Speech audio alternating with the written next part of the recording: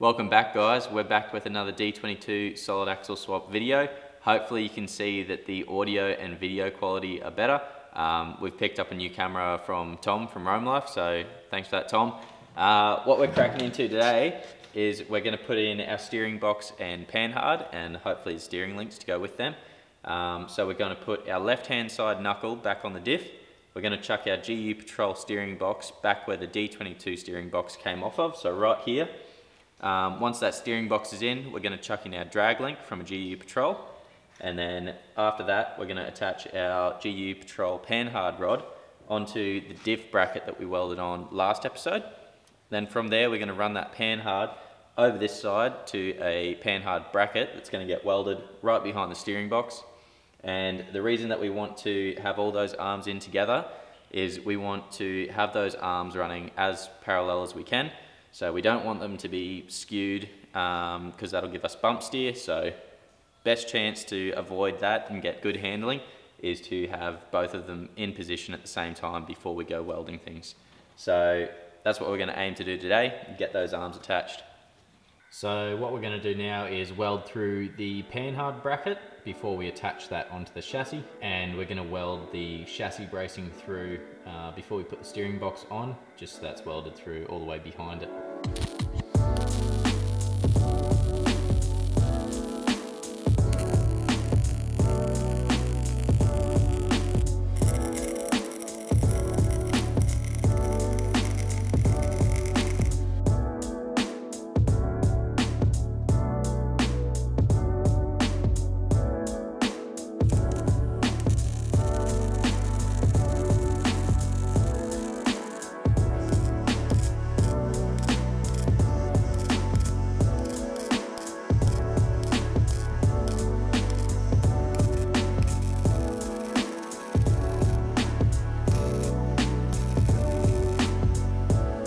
Okay guys, so we've come through with the die grinder and we've cleaned up each of these holes here, um, which means that we can put the steering box up and bolt it in. But first what I'm gonna do is I'm gonna clean up this weld here.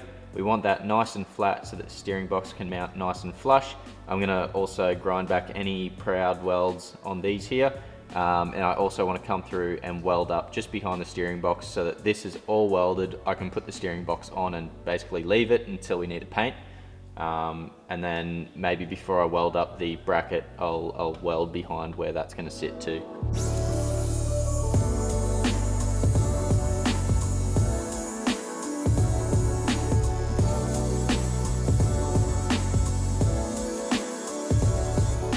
So Matt from Crawl Customs, he told me that you don't actually have to weld this chassis laminate all the way through. Just a couple stitches along it are fine. Um, however, I thought it would be better if I welded it all the way through because that means that it's airtight and you know there's less places for stuff to get caught and then lead to rust.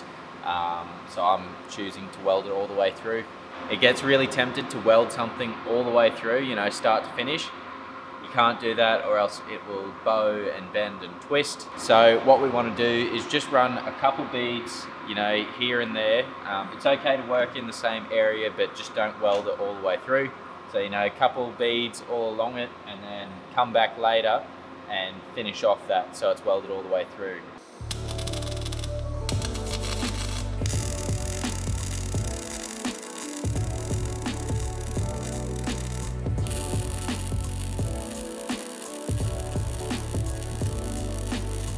Okay, so we're going to chuck our steering knuckle back on the passenger side um, so then we can attach our links to it.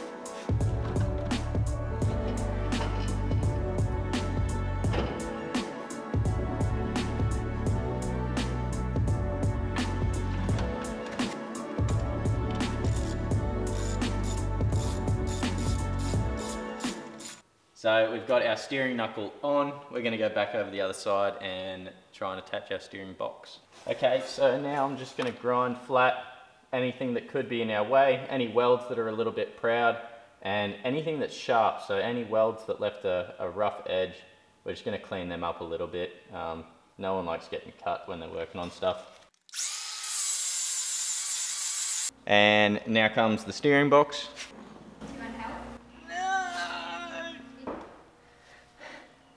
Boys, heavy. This is not. Get up there, you stinking dog. That's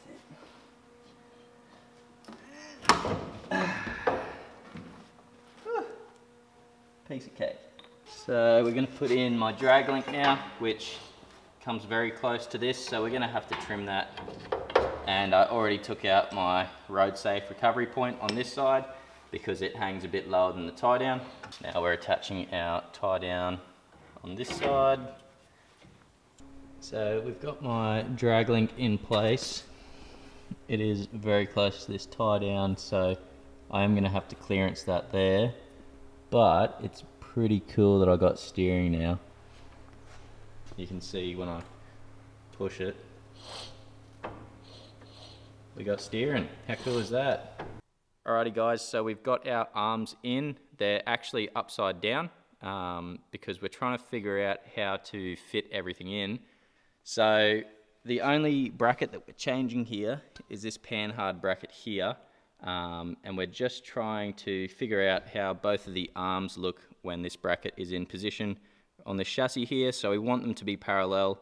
Uh, the only trouble I'm having is this panhard bracket here wants to contact on the panhard um, right here. So I might have to just put a radius in there and give it a bit more clearance.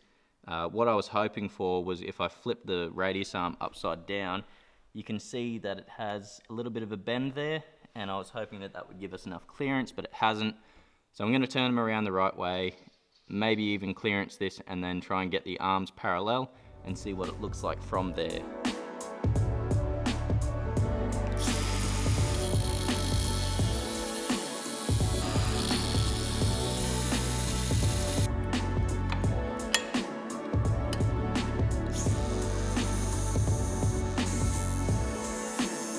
So this is what we've got. So I just radius that out and I think that will definitely give us way more clearance than what we need.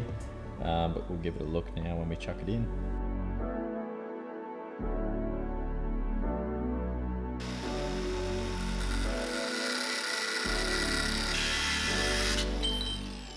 Alrighty guys, so we've been playing around with the panhard and the bracket. It's been in and out a couple times. I've had to re-weld it in. Um, basically what I came to was I wasn't happy with the bush binding up in the housing. Um, it basically, it wants to point backwards too far. So what I did was I twisted it and that meant the bush wouldn't bind up, but it then meant that I had a massive gap on the left side of the bracket. So this is what I've got now. Um, you can see if you look along there, that used to be a perfectly straight line. So what I've done is cut on an angle there and followed that line all the way down. And now this side and this side, when they contact, um, it's pointed backwards to the diff side, which is pretty well perfect. Um, the bush isn't binding anymore. Um, the only place that it's binding is on the other end, which we'll put a Heim over there and it should be great.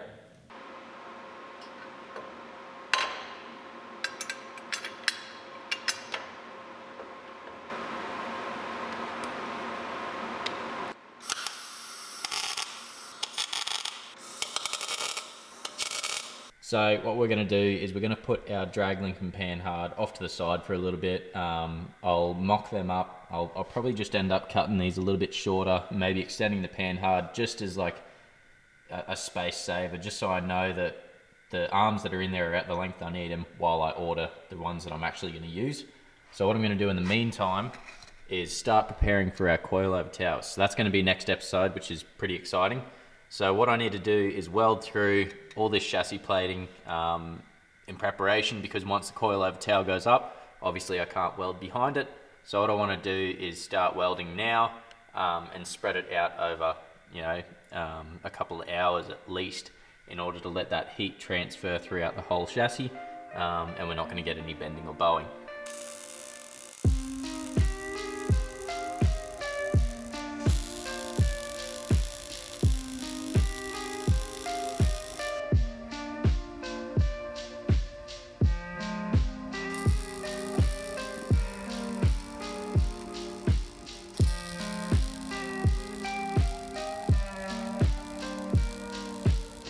Alrighty, so this next part is no one's favorite and that's lying down underneath what you're welding because I need to get the underside of that chassis bracing. So I'm probably gonna get burned.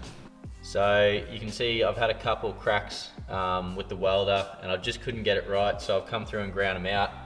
Um, I tried a couple different techniques and none of it was working. So I tweaked the settings on the welder and that's what we've come out with there. So um, it's, it's game on now. I'm gonna go through and weld through the bottom and hopefully we can have them all looking just like that one there.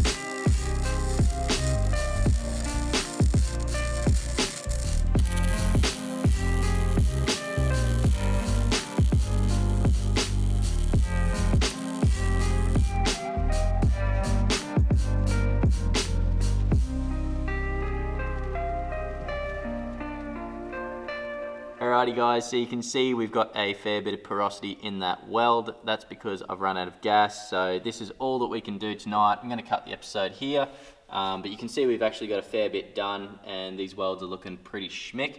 Um, I had to stop to let it cool down anyway, so I think this is a good spot to, to cut the episode. Um, next episode, we'll be getting into the coilover towers, which I'm bloody keen for. I think they're gonna be awesome. They're the last of our brackets to go in, along with hydro bump stop mounts. Um, so I think it'll be really awesome to see the last of our brackets go in this. And then the only thing left to do is weld it all the way through. So I'll see you guys then.